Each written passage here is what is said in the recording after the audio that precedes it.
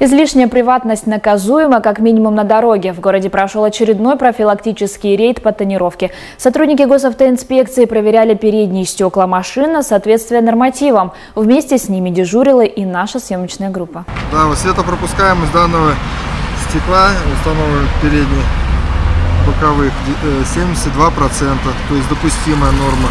Если нанесено дополнительное покрытие в виде пленки, то, соответственно, если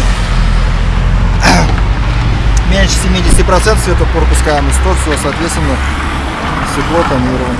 Даже прозрачное стекло не идеально, еще меньше показателей у тонированного. По нормативам передние и боковые окна должны пропускать не менее 70% света. Впрочем, не все магнитогорцы спешат исполнять закон. 18% что недопустимо.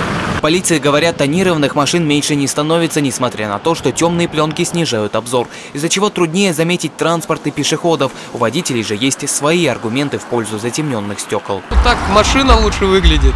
Да и зачем мне вот эти вот лишние взгляды? Так в машине хоть что могу оставить, а так и барсетку могут вытащить и что угодно. Поэтому больше нравится с ней ездить. Дмитрию повезло, его тонировка легко сошла со стекла, другим же приходится приложить усилия, чтобы сорвать пленку. Исправить нарушение инспекторы требуют прямо на месте, при отказе штраф. В случае невыполнения требования сотрудника полиции о прекращении противоправных действий водитель привлекается к административной ответственности в соответствии с частью 1 статьи 19.3 Кодекса об административных правонарушениях Российской Федерации неповиновение законному требованию или распоряжению сотрудника полиции, за что предусмотрен административный штраф в размере 500, от 500 до 1000 рублей, либо административный арест сроком до 15 суток.